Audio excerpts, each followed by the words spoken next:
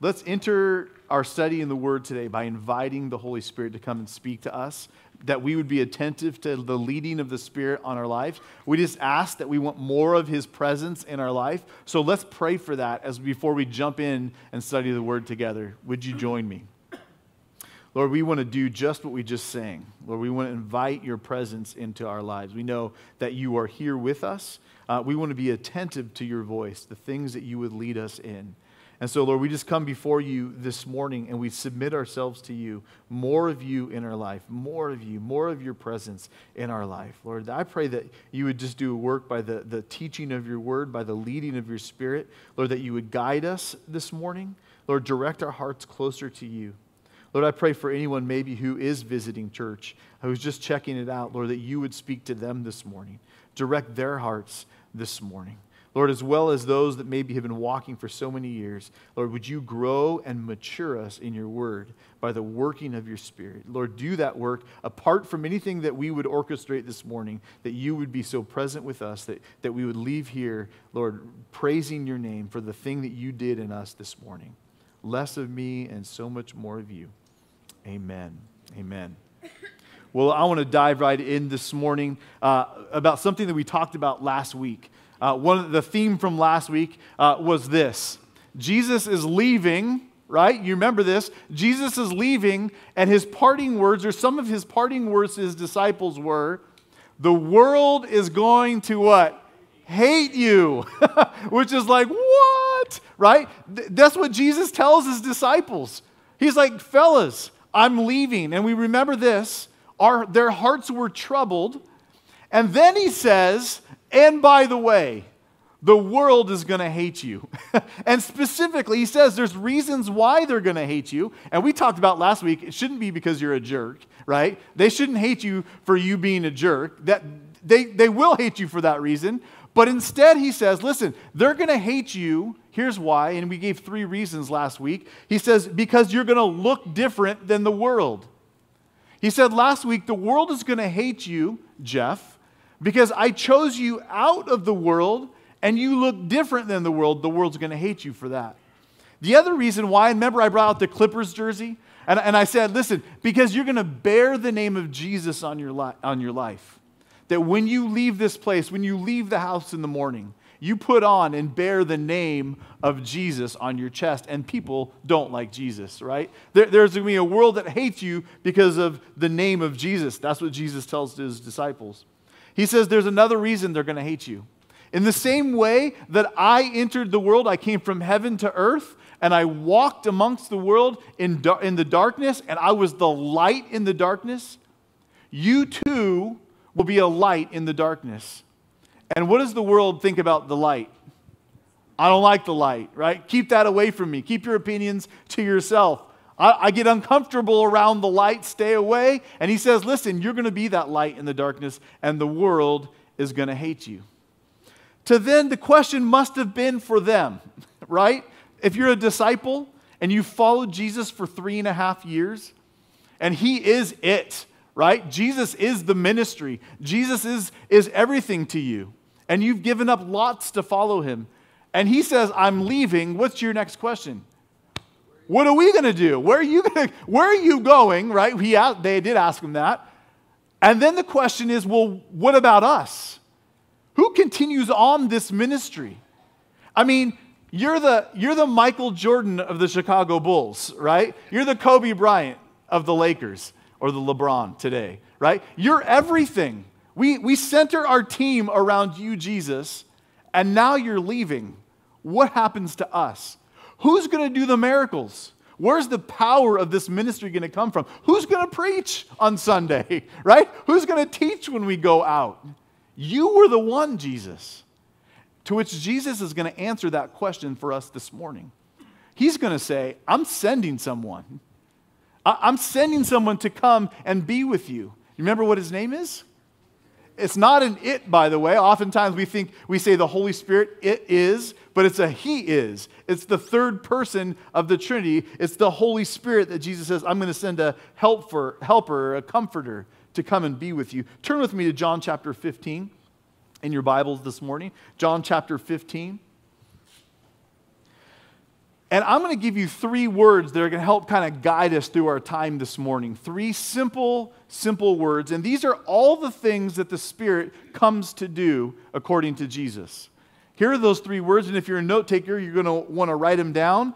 And there will be a test at the end of this morning.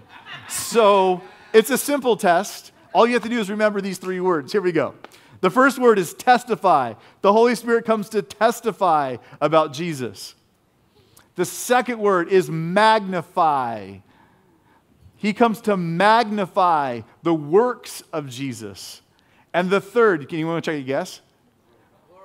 Woo! Right? Right? Front row student. Glorify, right? Glorify. The third word there is glorify. So write those down. We're going to take a test at the end. We'll see how you, see how you do on that test.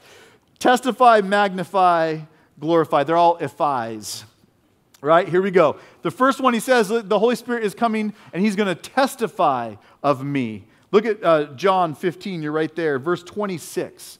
Verse 26. Here's what it says When the advocate, that's the Holy Spirit, comes, whom I will send to you from the Father, the Spirit of truth who goes out from the Father, he will, help me out, testify about me, right? He will testify about me. And you also must testify, for you have been with me from the beginning. The Holy Spirit comes to testify about Jesus. Now, here's an incredible text. You're right there in 15. Jump back to 14, verse 17. John chapter 14, verse 17. Here's an incredible reality and truth. The Holy Spirit, I'm going to send to you. And Jesus says He's going to be with you. But look what else He says in John 14, verse 17. The Spirit of truth, the one we just read about, whom the world cannot receive because it neither sees Him nor knows Him, but you know Him, for He dwells with you and what? Will be where? in you. I will not leave you as orphans. He's answering that question. Where are you going? I will not leave you as orphans. I will come to you. I will come to you in the presence of the Holy Spirit, which he says will not just be with you, but will take up residence in you, will abide in you. And what's he going to do? He's going to testify of who? Of Jesus. He's going to come in you and he's going to testify. Look at John 14, 25. You're right there in 17. Look at 25. These things I have spoken to you while being present with you. Jesus, again, talking to his disciples. But the Helper, again, another name, the Holy Spirit, whom the Father will send in my name, will teach you all things and bring to rem- your remembrance all things that I've said to you. He's going to come and, and be in you, and He's going to teach you and bring to remembrance the things I've taught you. What's He doing? He's testifying to Jesus. He's testifying about who Jesus is, and He's doing it inside each and every person that has put their faith and trust in Christ, that have believed on Him. Now, there's a moment where Paul is writing this, this uh, letter to Corinth. And he says, Listen, God has revealed something to us, to Paul and, and to the, the apostles. He's revealed something about the mysteries of God. In fact, what he's talking about is that God is redeeming people to himself. He's drawing people into his family, and he talks about the Holy Spirit. Look at what he says here in 1 Corinthians chapter 2, verse 6. Here's what he says. However, we speak wisdom among those who are mature, yet not the wisdom of this age nor of the rulers of this age who are coming to nothing. In other words, we have a different sort of wisdom that we're talking about here. It's a different sort of wisdom than you get in school, right, or from your classes or from the world. We have a different sort of wisdom. What kind of wisdom? But we speak the wisdom of God in a mystery, the hidden wisdom which God ordained before the ages for our glory. That's the gospel, that God is saving sinners to himself, welcoming them into his family, which none of the rulers of this age knew for had they known, they would not have crucified the Lord our, of glory. But as it is written, eye has not seen, nor ear heard, nor have entered into the heart of man the things which God has prepared for those who love him. Now, here's the question mark if it has not, if this mystery, this gospel message, did not enter their eyes or their ears or their heart, then how did they know about these things? Paul, how did you find out? How did you come to know and understand the gospel? Here's what he says But God has revealed them to us through his what? Spirit, his testifying spirit. For the Spirit searches all things, yes, the deep things of God. For what man knows the things of a man except the spirit of man which is in him? You only know what's inside of you. Your spirit only knows what's inside of you. Even so, no one knows the things of God except the Spirit of God. Now, we have received not the Spirit of the world. Paul, what kind of Spirit did you receive? But the Spirit who is from God, that we might know the things that have been freely given to us by God. That's an incredible reality. Paul's saying the things that we have conveyed to you about the gospel, about God redeeming this dark sinner world to a relationship with Him, we have received by the Spirit, which knows God, the deep things of God. And he's saying, listen, catch this. This same Spirit comes and dwells in you and testifies about who Jesus is. Is that not incredible information? Is that not an incredible reality that the Spirit of God lives and dwells in each of you? But now listen, He's not only come into you to testify about Jesus to you, but He's going to use you then to testify to others about Him. Look what He says here in 27. He says, and you also must testify, right? I'm not just coming to take up residence in you, Geoff, so that you have all this information about who Jesus is so that you would love Jesus more. I'm doing that. But I'm coming to you so that you also will testify. Look what he says in 27 and talking to his disciples. For you have been with me from the beginning. Your testimony, in other words, is so powerful. You know, you know what I've said, Jesus would have said to his disciples. You know what I've done. You've been with me. And I'm going to come and empower you to take that message of the gospel and all the teachings that we've done and all the, the miracles that I've done, and you're going to share about who I am to the world.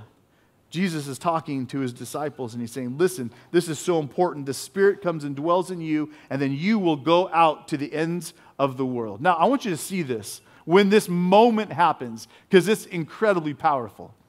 This moment when the Spirit comes and dwells with mankind.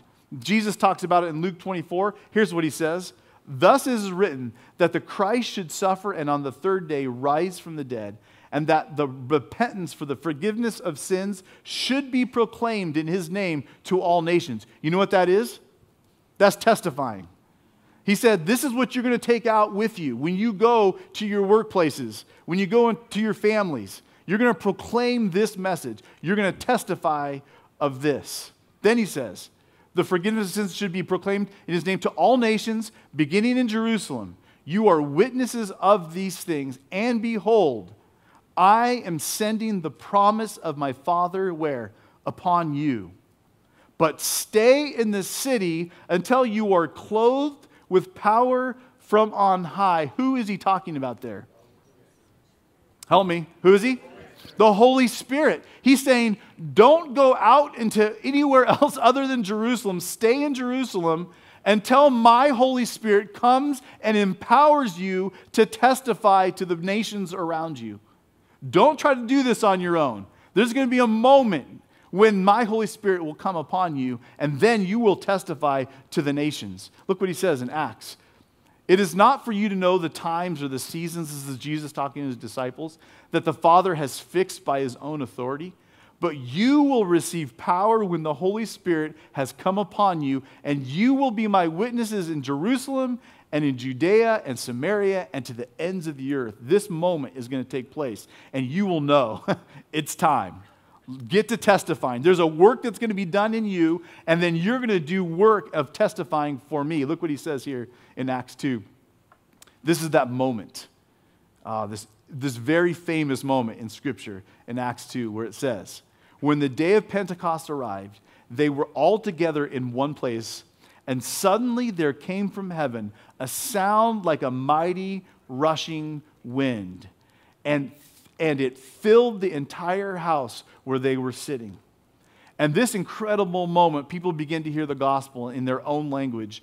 And, and people from all over the place who had gathered, and they're thinking, these people are weird, right? But they're speaking to me. There's something going on in my heart and in my soul. And the Spirit is testifying to who Jesus is. And He's using these disciples and these apostles who He had said, wait here, wait here. And now they're filled with the Spirit and they're testifying about Him. Now, Look what happened. And divided the tongues of fire, appeared to them, and rested on each one of them. And they were all filled with the Holy Spirit and began to speak in other tongues as the Spirit gave them utterance. And people began to give their lives. In fact, here's the incredible thing. In this moment, Peter stands up. You remember this from Acts, right? Peter stands up and he gives this testimony about who he is and who Jesus is and the work that Jesus had done and who he truly was. And do you remember how many people gave their lives to the Lord that day? 3,000 people. How incredible is that?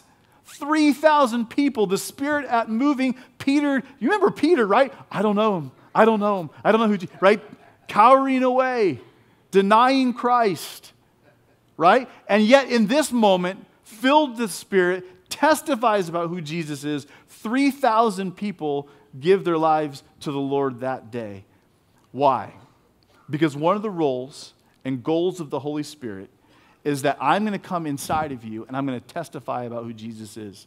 I'm going to draw you to him. And then you, believer, are going to turn around and by my power testify about who Jesus is, so much so that people will be drawn to him and they will give their lives to him. I hope you're one of those people that testify about who Jesus is because of what he's done inside of your life. And the Holy Spirit, that's what he's trying to do. He's saying, listen, I'm going to move you into a testifying time in your life. But listen what he says next.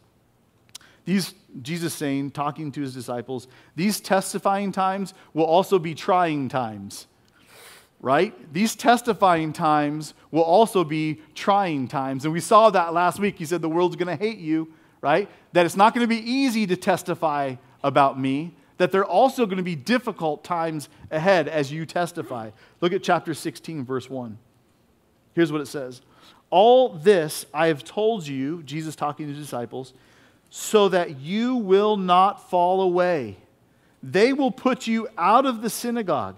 In fact, the time is coming when anyone who kills you will think they are offering a service to God. They will do such things because they have not known the Father or me. I have told you this so that when their time comes, you will remember that I warned you about them. I did not tell you this from the beginning because I was with you, but now I'm going to him who sent me. None of you asked me, Where are you going? Rather, you are filled with grief because I said, the, said this, these things. Listen to what he says here. He says, trying times, testifying times, are going to be trying times. The, the, these times when I've encouraged you to move out amongst the people, the, you're going to be tested, right? They're, they're going to come against you. In fact, they're going to kick you out of church, synagogue, right? The hub of, of, of a town was the synagogue, the place of worship, the place where things took place where business was done. People talked and gathered around in the synagogue. It was the center of the culture. And he's saying, essentially, you're going to be kicked out of that culture. And we actually know that Jesus says your families are actually, many of your families are going to turn their backs on you. In fact, some of your families are going to turn you over to the authorities.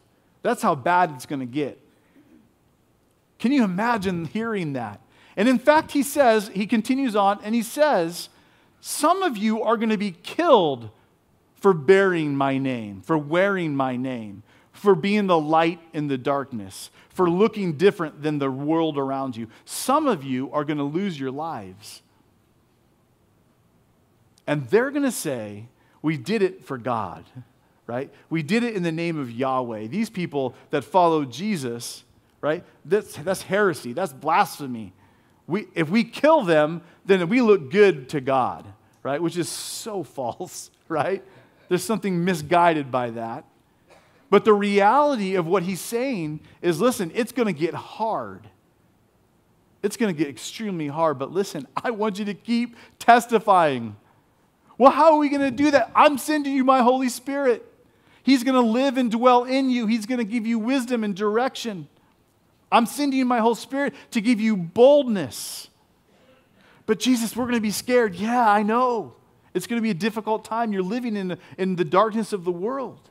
But I'm sending my spirit to come and be with you and what? In you.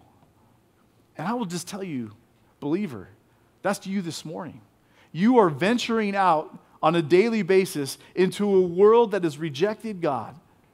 And yet you go with the power of God because of what He has deposited in you. What He has abided in you is the Holy Spirit. And I would just say, and we sang it, Lord, we need to recognize that more in our lives. That as Jesus is saying, listen, I'm sending you out into the darkness, but I'm sending you with my, the power of my Holy Spirit. The same power that, that Peter had when he got up and preached and 3,000 gave his life, that same power.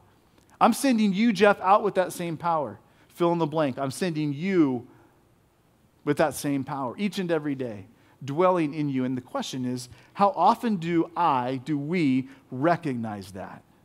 That we have this deposit from the Lord living in us, the third person of the Trinity, the Holy Spirit, that says, I've come, Geoff, to dwell in you, to testify about Jesus, and to use you to testify about Jesus. But I'm scared.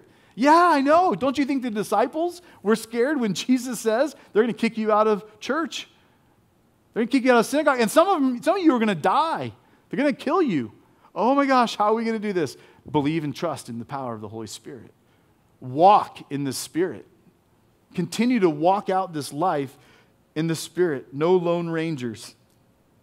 Listen to what he says here. I've told you this right? In, in, in 16, verse 1, he says, I've told you this so you will not fall away. So that when these times come, and maybe you, we would just say, in some, to some degree, they're here now, right? People don't like to hear about the name of Jesus. There, there's a lot of judgment, right, of, of the church. Some of it's okay, some of it's probably right. And, and in other parts of it, it's because there's a world that says, I don't want to hear that. He's saying, listen, when these times come, I don't want you to be surprised. I, just, I don't want you to think something odd is happening. I'm telling you this, he says there in 16.1. I'm telling you this so you will not fall away. So that instead of your faith being weakened, your faith will be strengthened because I told you it was coming. When they come after you, I don't want you to think, oh, God has turned his back on us. That's why they're coming after us. No, no, no. No, no, no. That's not why. I, I want you to know that's going to happen. And instead of, of turning away from the Lord, you would turn to the Lord and say, God, I can only do this in your power. That, that when the, the persecution comes upon the church, the, the response of the church isn't to say, some strange thing is happening to us. No, it's the thing that Jesus talked about quite a bit. When that persecution comes, it says, I'm going to hold tighter on to the Lord. And in fact, listen, I'm going to testify all the more.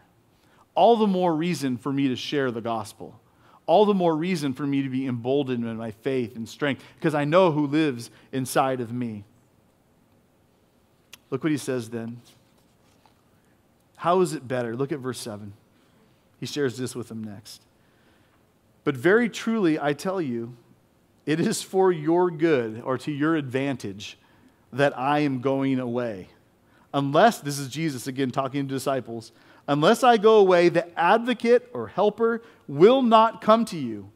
But if I go, I will send him, the Holy Spirit, to you. Now, you just talked about persecution and suffering and pain and killing. And Jesus, how is it that be- better that you leave? How is it better that you go? I mean, I would think, you know, just me, if those things happen, we need to look to you to get help. You will have the answers in these situations. You're the one we always turn to for problems. And Jesus, you tell us somehow that it's better that you leave us than for you to stay with us. I don't understand. He says, Yeah, it's better that I leave because when I leave, I'm going to send my Holy Spirit to be with you. Now, think about that gift for a second. You could have the presence of the living Son of God, right? Dwelling with you in. I mean, he could be here with us, and we would all say, Yeah, that would be awesome. I want to I wanna be with Jesus, right? And we would all be right, of course. But how cool would that be to have him just right there? But he's saying, actually, what y'all have, what I have, what we have, is better than that. What he's saying to his disciples is it's better, it's to your advantage that I am not here, and instead you have the third person of the Trinity dwelling with you. What could he possibly mean by that? Well, I think there's lots of advantages that he could mean. I think one of the most significant ones is Jesus comes from heaven to earth and he puts on what's this? Skin. He puts on flesh, which then he can only be at one place at one time. So you could have Jesus at work with you tomorrow, but I get him the next day, right? He has to come with me to work the next day. Well, I want him at Thanksgiving. Okay, Jesus can come with you to Thanksgiving, but he can only be with one of us at a time. But when he says, listen, it's to your advantage that I leave, and I will send my spirit, which can be with all of us at all times. He can live and dwell in you at all times. So he comes and takes resident. He says, It's to your advantage that I go. That's an incredible gift, an incredible reality. In fact, we're going to see later on that the Spirit speaks for Jesus. That the Spirit speaks only what he hears. And in fact, you can go to your work and I can go to my work and we can go to different Thanksgiving meals together. And Jesus can speak to our, the Spirit that lives within us and direct our hearts and minds to him. It's an incredible advantage, he says. I'm going to come and I'm going to send my Holy Spirit within you. My faith would have been stronger, some say, if I could just have seen the miracles. If I could just have walked with Jesus, then I would believe. And I'm just telling you, actually, there were many who did not believe. Right? We know that from our text. There were many who walked with Jesus, saw the miracles, heard the teachings, and did not believe, did not give their lives over to him. I say this we live in a much better day, right? Where he says, It's to your advantage I'm sending the Spirit. What do we have? We have the, the fullness of his scripture, his living and active word that we get to see throughout history written down, and many of you can read. So that's an advantage, right? And you have that Holy Spirit working with you through the text to guide and direct your life. This is an advantage, right? We have the working of the church the Holy Spirit guiding and moving the church over the last 2,000 years. We have the history of the church to see and look back on and think, that's an advantage. I mean, these guys are at the, ground, the, the ground level. What's going to happen to us? What's going to happen? Right? Jesus says, I'm going to send my spirit, and God's going to do a work in you and through you. We have a great advantage. So, the first one we talked about first answer on the test at the end of this message. Uh, the first answer is going to be what? Testify. The Holy Spirit comes and He testifies in us and through us. The second one He's going to do is He's going to magnify. He's going to magnify Jesus' work. What does a magnifying glass do? Right? Takes an image, and as you look at that image, it magnifies it, it makes it bigger. What it doesn't do is create a new image, right? It, it's not going to make something out of nothing. It's actually just taking what is already there and making it bigger so we could see it, to give it more clarity and color, and, and, and to get, look at the details, right? I can use the magnifying glass for that. And that's exactly what the Holy Spirit comes to do. Listen, the Holy Spirit doesn't come to do something new that, that Jesus didn't already lay the foundation for. The Holy Spirit doesn't come to invent new ways of, of worshiping, doesn't try to, he's saying, listen, we're going to take Jesus and I'm going to magnify him. I'm going to make him bigger.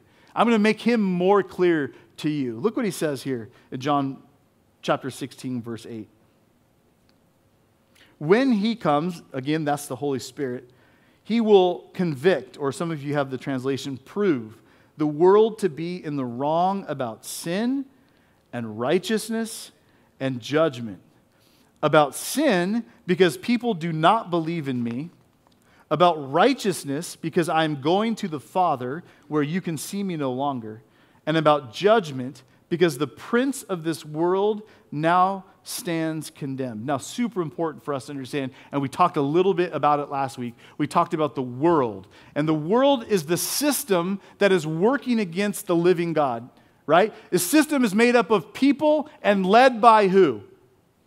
The enemy or Satan, right? That, that at the very beginning of creation, God creates everything. He sets it, sets it going in motion, right? Adam and Eve are there. It's perfect harmony between the Lord and each other, and it's great. And who comes in? The enemy, right? The devil comes in. And we, we looked last week and it says the devil is the father of lies. It's the very core of who he is. He lies and he deceives. And in that moment, he deceives Adam and Eve, and they fall. And now the darkness of that world comes in. That there are people who reject the living God right? Reject and turn their backs against him. And, he, and Jesus is saying that's when he talks about the world, he's, that's what he's talking about, is, is this idea that there's a group of people, the world, that have turned their backs on the living God. In fact, Jesus says, I'm that light that goes into that world, right? And people hate me for it, but I'm the light that go into the world to bring people and draw people back into understanding who God is again and the love he has for that world. So, here in our context, when we talk about the world, the Holy Spirit comes to convict the world of sin, that their need is of righteousness, and that there is a coming judgment. What he's saying is Jesus came from heaven to earth to do that same thing. That as he walked about, he would convict the world of sin, that he lived out perfect righteousness God's righteousness, and that he talked about a coming judgment for the world. And so here, the, the Holy Spirit, according to John and according to Jesus, is that he's come in, in, in all ways just to magnify those works of Christ. And so let's take a look at those. Take a look with, at that first one. It says, listen, the Holy Spirit will come and convict the world of sin. John uh, 7 7 says, The world hates me, Jesus, because I testify of its works being evil. The world hates me because I go into the world and I say that that's a sin, and the world hates me for it. I, I, I, remember this in my life. Do you remember this? The moment you came to the Lord, or maybe the moment leading up to the Lord, where there were things in your life that you just knew were not of God, right? And I, quite frankly, didn't need to know all of Scripture to know that to be true. I had not studied all the book of the Bible to know the things that were going on inside of my life were not representative of God. And that is the work of the Spirit. He's come to convict the world, which I was a part of for my life, and at one point you were as well, to convict the world of the sin that is in their lives. That's hugely important. There's got to be that moment in all of our lives where there's a recognition that the things I've done in my life or are doing in my life are apart from a perfect, sinless God. And he's saying, listen, that is the work that, that the, uh, the Spirit will come and magnify in them. In fact, I have to jump forward here a couple passages. In that Acts passage that we read about, right? As that Acts passage that we were looking at, uh, Acts 2.36, listen, it says, let all the house of Israel know assuredly that God has made these, this, this Jesus, whom you crucified, both Lord and Christ. Now, when they heard this, this is the 3,000 people that Peter got up and preached to, and their souls came to know the Lord. He says, Now, when they heard this, they were what? Cut to the heart. When they heard this preaching that, that, that Peter had just preached, by the move of this in the power of the Holy Spirit, it says that they were cut to the heart. And there was a moment in all of our lives where this happened to us. We heard the gospel, the good news of Christ, and we were cut to the heart. Where else could I go? What am I supposed to do? And, and listen, he says, and said to Peter and the rest of the apostles, Men and brethren, what shall we do? What do we do? They're sitting with this guilt on their life because of the sin by the magnifying work of the Holy Spirit. And they say, What do we do? To which Peter says, What? Repent? In other words, turn away from those sins, walk in the light, not in the darkness. He says, Listen, be baptized. Get baptized.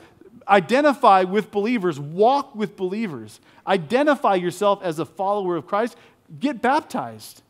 And the third thing he says, listen, and you shall receive, guess who? The Holy Spirit. In that same text, he says, repent, turn away from those sins, be baptized, and you shall receive the Holy Spirit. He will come and take residence with you, He will dwell with you. So, that first thing he says, listen, there's a sin problem. We all have it. And he says, listen, the Holy Spirit will magnify that. Here's the other thing he says, verse 10 about righteousness, because I am going to the Father where you can see me no longer. The Holy Spirit is going to come and convict the world of their need for righteousness. So here's the question for you Where do you fall on the scale of righteousness? Where's your, what, what number are you? It's kind of a trick question. If God is 10, that's like the holy, you know, the holiest of holies, perfect righteousness. You can't be in, you can't be in 10. Or one is like, well, maybe I, I should be in, in jail instead of at church this morning. Something like that. I don't know. That's on the other side of the spectrum. Where do I fit in the, the righteousness scale? Maybe some of you would say, well, I'm a nine because I'm, I'm pretty good, right? Here's the trick, right? No one fits on, on the scale. No one can reach a 10 right? God is, is perfect righteousness. And, and, and we may come up with even say, oh, I'm a four. I'm just going to be humble. I'm a four. Or maybe I'm a two. The reality is, no one is good enough. No one is righteous. In fact, that's in, in the text in Romans 3. Uh, Romans 3 says, There's no one who is righteous, no, not one. None of us are righteous enough. And so the Holy Spirit comes to magnify this truth that you would know there's no one who could be a 10. And 10 is what is required. Let me say that again. No one could reach the level of 10 being holy and righteous perfectly. And 10 is what is required to enter into heaven, to enter into the presence of a holy and righteous God, and, and no one can reach that. Here's another scale sometimes we'll like to use at times is, is the weighing scale, right? And, and, and if we say, if we just do enough good works that overweigh or outweigh our bad works, then we'll be good people, right? That we'll be righteous in God's eyes. That, that if we just do enough good things, we, we donate money and we give of our time, and we're just really nice people to people at work, right? If we just do that, then God will see us as good and he'll say, Come on in, Geoff. You, you know, you messed up in some areas, but you're really overly all just a really good person, right? And we know that's not true, right? And, and, and in fact, that's a, that's a dangerous scale to mess with because, well, how much do I have to do? And, and, you know, maybe I can just downplay some of the bad things in my life and overplay some of the good things, and that looks better. But then I'm the judge of that. What about what does God say about me? And so the reality, we just want to get rid of both of those scales and just look to one scale, which is we look at Jesus the perfect, sinless Son of God, which is what he's saying here. He's saying here, listen, because I am going to the Father where you can see me no longer. What he's essentially saying is, I've come from the Father. Now I've come to walk amongst you, perfect and sinless. I am the scale by which you would judge yourself by, not by the person sitting next to you, right? Because we know you're more holy than them, right? You're more righteous than them not by your coworkers or your friends. We don't judge by that scale. We say, okay, we're going to look at Jesus. He is the measuring stick, He is the scale we judge our lives to. And if that's the case, then each and every one of us falls short because none of us, no, not one, is righteous. No, not one is perfect. And that is the requirement. We have to be tens. We have to be 10 on the scale. Look at this. So, where do we get this righteousness from? Where do, where do we get to? The Holy Spirit says, listen, you're, Geoff, you're a sinner. I know, I know, right? You've fallen short of the glory of, I know. And you, Geoff, Geoff, you need to be righteous. Okay, but I don't see, how do I get there? How do I, how do I become righteous? Look what he says in Romans 3.22. This righteousness is given through faith in Jesus Christ to all who what? Believe. And I can just tell you, the, the, the gospel writer of John, he would have loved this passage because all through John, we see this, this common theme believe, believe, believe. I'm writing this gospel so that you will believe on the name of the Lord Jesus Christ right? And here in Romans, it's written, it says, This righteousness comes through faith in Christ to all who, put, who believe in him. There is no difference between Jew or Gentile. Here's why all have sinned and fallen short of the glory of God. And all are justified freely by his grace through the redemption that came by Christ Jesus. And the Holy Spirit says, I'm going to magnify this work. I'm going to magnify the sin. I'm going to magnify the righteousness. Here's why this is so important. Because if you take sin of humans and you take the righteousness of God and you put them together, there's a natural consequence of judgment.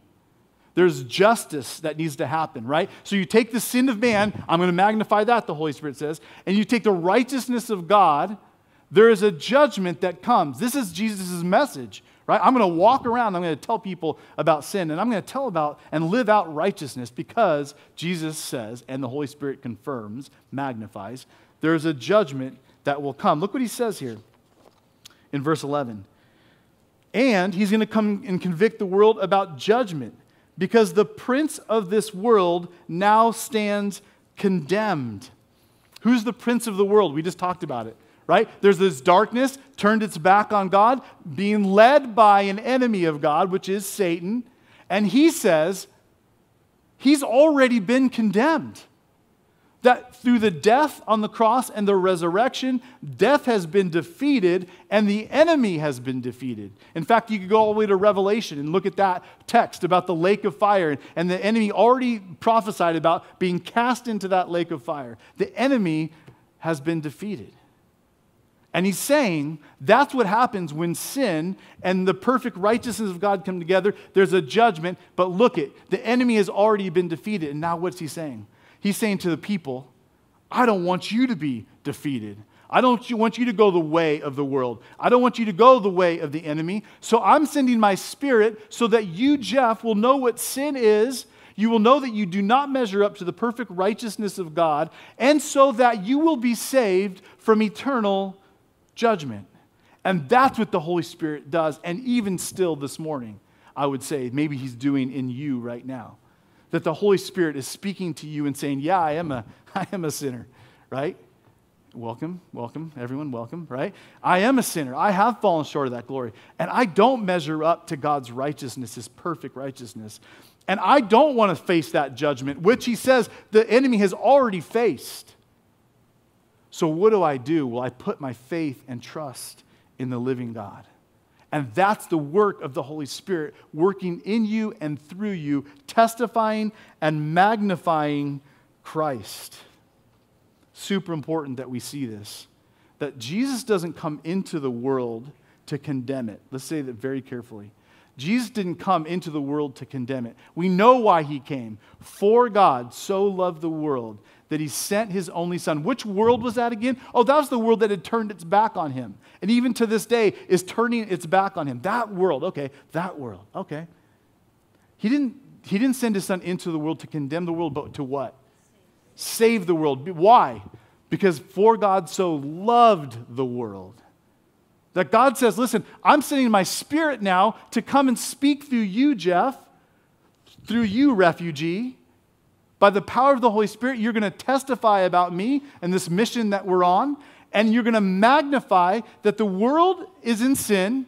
I am a righteous God, and there will be a judgment. But listen, I'm doing that because I love you. In the same way, a parent would say, Listen, son, uh, this action that you've done is, is, is not in line with our family values.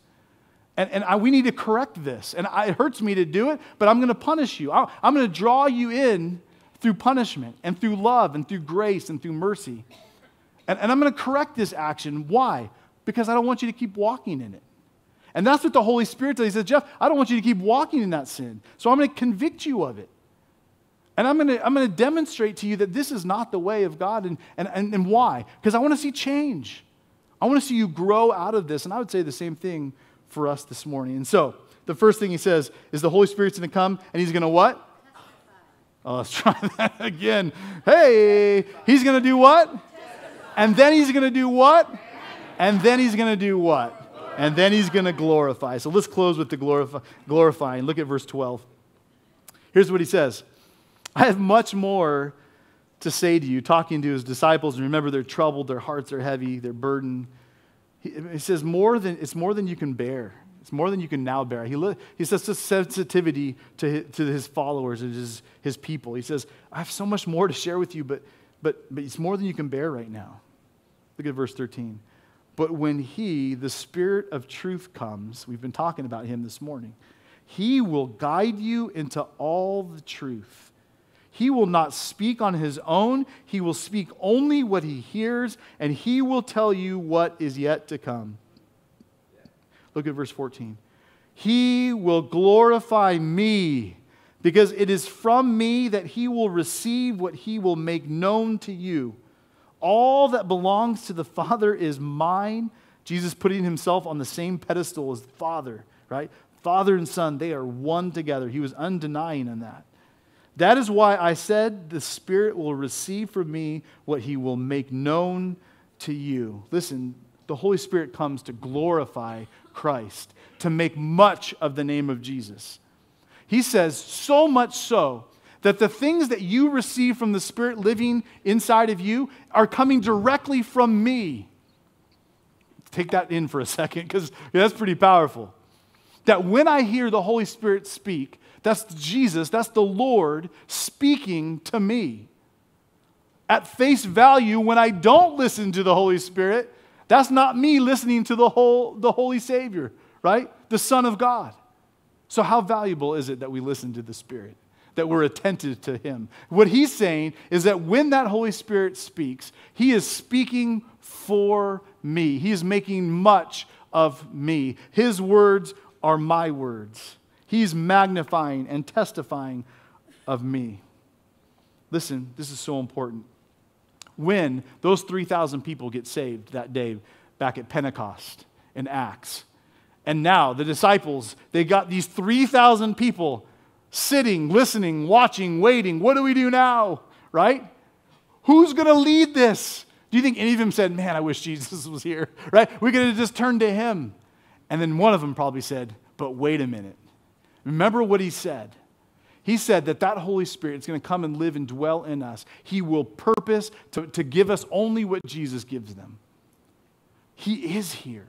He is guiding the church. He's moving it forward. How are we going to remember what he teaches, what he taught us, so that people could we could write it down? How are we going to remember those things? The Holy Spirit will be with you. How, how what are we going to do when those hard, challenging questions come up, which they inevitably will, those gray areas? How are we going to answer those things? We'll go to the Word. We'll, we'll be led by the Holy Spirit. He will move the church forward all glorifying Jesus, all lifting up the name of Jesus. When religions, or maybe uh, pseudo Christian religions, or, or false Christian faith, or, or, or cults of Christianity, some would call it, devalue the name of Jesus, we know that is not of the Spirit, right? when they say, well, he never really said that, I don't believe he said that. anything that we see where he's somehow devalued, he's not lifted up as Lord and Savior and God, we know that is not a working of the Holy Spirit. Why? Because the work of the Holy Spirit elevates the name of Jesus. Can you get the name of Jesus too high? I don't think so, right? The perfect, sinless Son of God who died on a cross, who redeems us, who brings us from darkness into light. I don't think you can go too high with that name. And so, any place where we see the name of Jesus devalued, we can know that is not of God because the role of the Holy Spirit, who lives and dwells in every believer, is to elevate the name of Jesus. And guess what? We've come to our testing time this morning. So, the Holy Spirit comes to do what first? Testify. Testify. Then what? Magnify. Then what? Glorify. So, guess what? If that Holy Spirit is living inside of us, if He is living inside of us, what should we do? Here comes the second part of the test. We should testify, magnify the name of Jesus, and glorify the name of Jesus. Are you ready to do that this week? Let's be people who purpose to say, listen, I'm walking out as a, a, reflection of the light into the darkness. One of the responsibilities that I have as a follower of Jesus is I am going to testify about him I'm going to magnify his work, and I'm going to glorify his name. Amen? Let's pray. God, you are good. You are gracious. The fact that you even uh, have, have this message available to us is an incredible work of your, your hand of grace and mercy. Lord, I believe absolutely this morning, uh, Lord, as we're sitting here and listening, there are some that, you, that would say, I need that. There's something out of step with my life. i have I've gone out of bounds in certain areas of my life. Maybe someone who, who once walked with you and now finds themselves walking apart from you.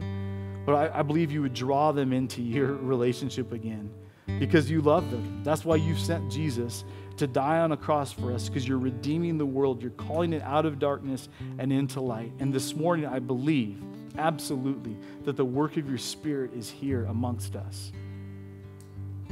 But I believe absolutely that the, the, the power of your Holy Spirit is here. Yes, that same power that we see in Acts, the same power that, that, that was uh, moving amongst the 3,000. Lord, that same power of the Spirit is here in this place. Lord, I pray no one would walk away from the voice that they hear, speaking to them, directing them to follow you. The single greatest decision they will ever make on the face of this earth is to be in relationship with the Creator, the living God. God, would you do a work in this place? Would you do a work in refuge this weekend? Draw people to you. Amen. This has been a presentation of Refuge Calvary Chapel, Huntington Beach. For more information about our ministry, please visit refugefamily.com or call 714 891 9495.